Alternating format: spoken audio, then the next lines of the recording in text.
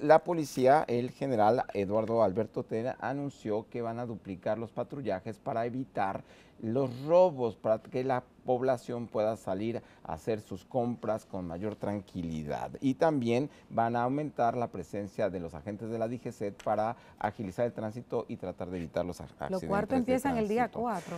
Sí, claro, pero como está el Black Friday este fin de Ah, semana, viernes, entonces la gente tratará de aprovechar, claro, todos com- Lo comprando que, a tengan, crédito. lo que tengan su chelito comprando también. a crédito, será Se porque puede comprar fiado, yo creo en el fiado y usted lo paga al paso y lo va disfrutando.